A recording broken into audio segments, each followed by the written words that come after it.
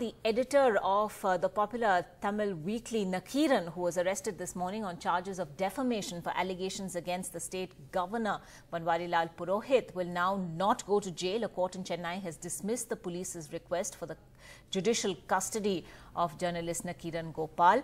And uh, that's the big story we're getting right now from Tamil Nadu. Sam Daniel joining us at this point for more. Sam, uh, what are we what are we hearing? Ankita, the court has dismissed the case filed by Chennai police against the veteran journalist Nakkheeran Gopal, invoking Section 124, which is originally meant for those who assault the governor or the president. The Chennai police thought there is a case under this section for the article his magazine had published targeting the governor in the sex for marks uh, scandal. But the court clearly ruled out, dismissed the case, saying there is no case under that section. And going to the background, the magazine had published an article in the over the sex for marks scandal after the arrest of a woman professor who was who had allegedly lured women students for sexual favors to university officials. And in one of the issues, the magazine had targeted the governor.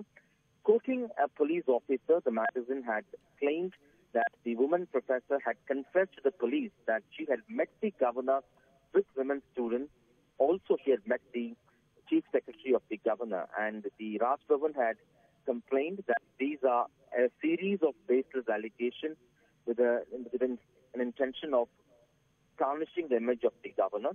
And uh, the journalist was arrested this morning at the Chennai airport just before he was to fly to Pune.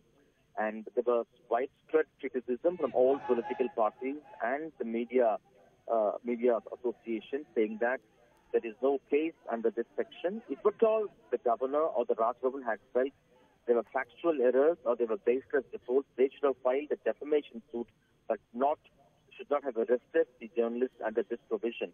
And the court had upheld the view. In fact, in a rare case, the court also heard to senior journalist N. Ram inside the court, and uh, many call it a shot in the arm for freedom of expression.